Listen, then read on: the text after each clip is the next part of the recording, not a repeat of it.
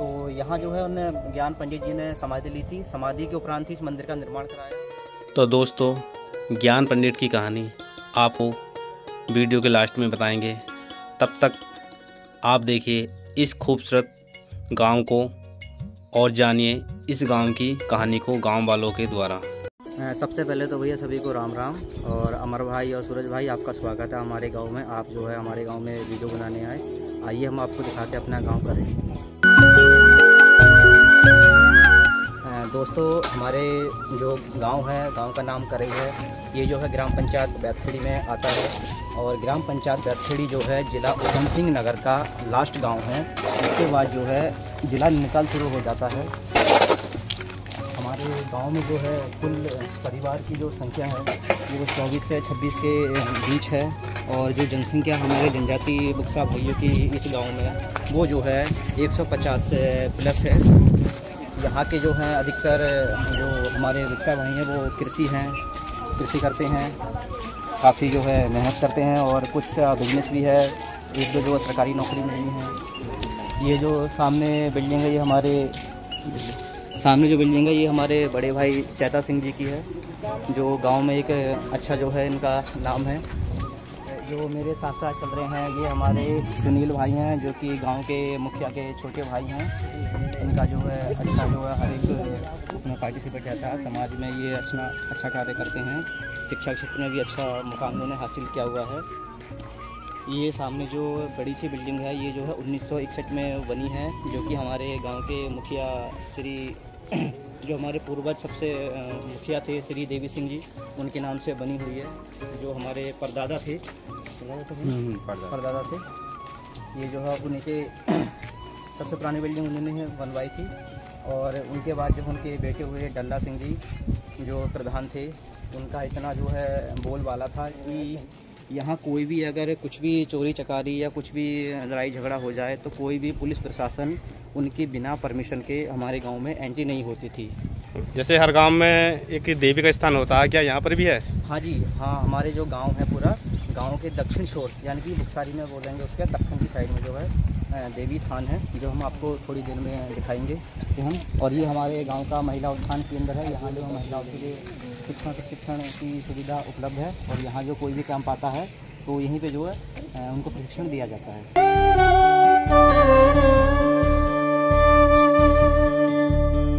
देखिए, कितना सुंदर गाँव है ये, बिल्कुल हरा भरा यही देवभूमि उत्तराखंड की पहचान है, हरियाली और सुंदरता। और ये देवों की भूमि भी कही जाती है। उत्तराखंड, इसलिए हर गाँव में देवी देवता है विराजमान रहते हैं और बहुत ही सच्चे मन से यहाँ पूजा पाठ की जाती है।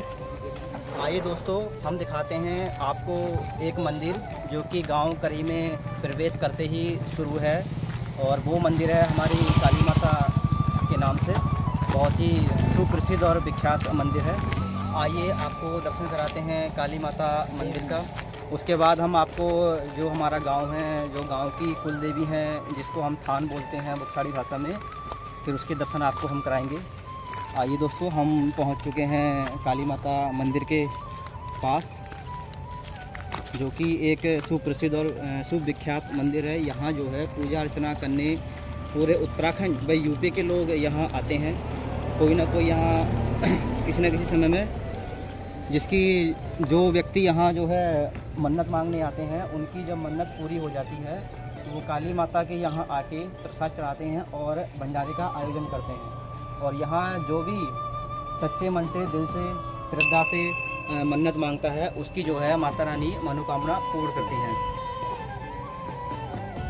आइए, अब हम थोड़ा इसके इतिहास के बारे में आपको बताते हैं। ये मंदिर जो है, बहुत पुराना मंदिर है। हमारे दादा परदादा हमें बताया करते थे, एक यहाँ बाबा हुआ करते थे, ज्ञान नाम से, उनका नाम था ज्ञान पंडित बाबा। उन्होंने जो है, समाधि ली थी यहाँ पे। समाधि ली थी, उसी समाधि के उपरांत जो है, यहाँ माता जी की मूर्ति की स्थापना हुई थी। पहले आपने देखा होगा, यहाँ चारों तरफ़ जो है, बहुत साफ़ सफ़ाई है, लेकिन जब जब मैं छोटा था, मुझे होश है कि यहाँ जो है पहले, बहुत ही जंगल हुआ करता था, यहाँ इतनी साफ़ सफ़ाई नहीं थी। यहाँ जो है, चारों तरफ़ बड़े बड़े पेड़ थे और जो जंगली वो होते हैं घास फूस वो चारों तरफ़ यहाँ उगा हुआ था। यहाँ जो है बिल्कुल भी कुछ वो नहीं था और यहाँ एक पास में नदी हुआ करती थी। नदी पहले बहुत बड़ी थी, अब जो है नदी जो है जैसे कि आपको पता है संसाधन नहीं आ गए हैं तो नदी का जो है अस्तित्व खत्म होने की कगार में है। आइए अब हम आपको दिखाते हैं गाँव की कुलदेवी का मंदिर, जो कि गाँव के दक्षिण शोर में स्थित है। देखिए, गाँव से दक्षिण साइड में, दक्षिण की ओर हम जा रहे हैं। कुल देवी के मंदिर, थान मंदिर पर। तो दोस्तों, देखिए, सामने है थान मंदिर और हम पहुँच चुके हैं थान मंदिर पर। और देखो, कितना हरा भरा है, चारों तरफ़ से। इसमें धान की फ़सल है, हरियाली है दोनों तरफ़ साइड में और बीच में आरसीसी की रोड है और बहुत ही भव्य और सुंदर ये मंदिर है। आइए अब आपको दिखाते हैं और जानते हैं इस मंदिर के बारे में। तो दोस्तों, देखिए, हम मंदिर में आ चुके हैं, इस तरह के मंदिर होते हैं और जानते हैं। जो यहाँ के प्रधान हैं, मुखिया, वो तो हमें नहीं मिले, उनके भाई मिले हैं। आइए, पूछते हैं उन्हीं से इस मंदिर के बारे में। जैसे कि आपको पता है कि ये हमारी बाल सिंह जी माता का प्रांगण है, ये हमारी सात देव देवियाँ हैं और दो वहाँ पे विराजमान हैं।